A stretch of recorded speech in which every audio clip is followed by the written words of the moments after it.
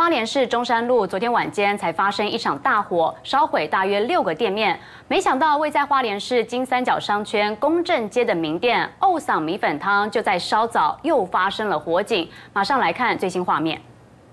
好多浓浓黑烟不断窜出，而这火源就在花莲市公正街名店欧桑米粉汤。中午十二点左右发生火警，疑似是因为厨师点菜的在煮菜的时候点火，却突然起火。他想用灭火器赶紧灭火，但火势一发不可收拾，他赶快逃出来求救，最后呛伤送医。而火势迅速延烧，至少六间店面遭受波及，后方房屋望加上风势的助长，整个花莲市区雾蒙蒙的一片。而且这时呢又。刚好是假日，虽然消防人员呢是一度控制了火势，但之后却又继续燃烧，高温导致瓷砖不断掉落。而这里又是花莲美食的小吃街，警方瞒着驱赶游客，以免影响消防人员救援行动。主播。